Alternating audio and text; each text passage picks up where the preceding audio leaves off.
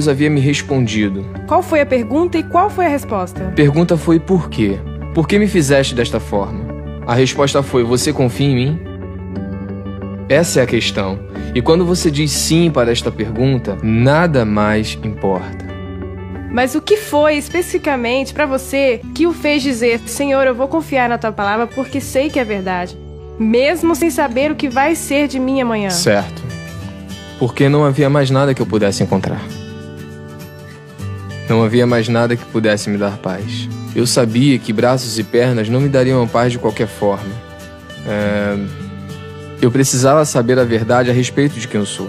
Por que estou aqui? E para onde irei quando não estiver mais aqui? Eu não encontrei esta verdade em nenhum outro lugar, só em Jesus Cristo.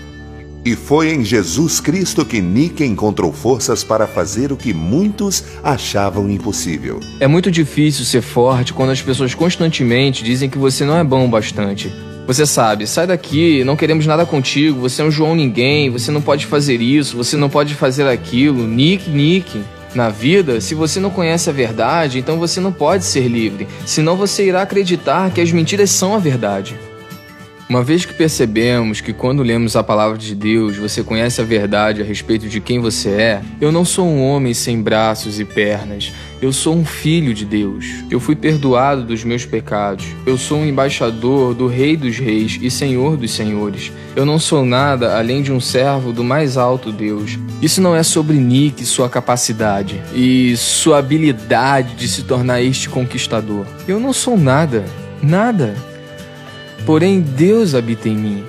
E agora eu vivo na força dele.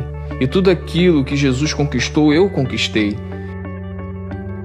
Eu creio que se Deus não lhe deu um milagre, você é um milagre de Deus para a salvação de outra pessoa. Eu agradeço a Deus por ele não ter respondido a minha oração quando implorei a ele por braços e pernas aos oito anos. Porque imagina só, porque eu não tenho braços e pernas, ele está me usando ao redor do mundo. E nós vimos até o momento, aproximadamente, numa estimativa conservadora, 200 mil almas virem até Jesus Cristo pela primeira vez nos últimos seis ou sete anos. E o que você prefere? Prefere ter pernas e braços aqui na terra, Nick? Não, eu quero a vontade de Deus.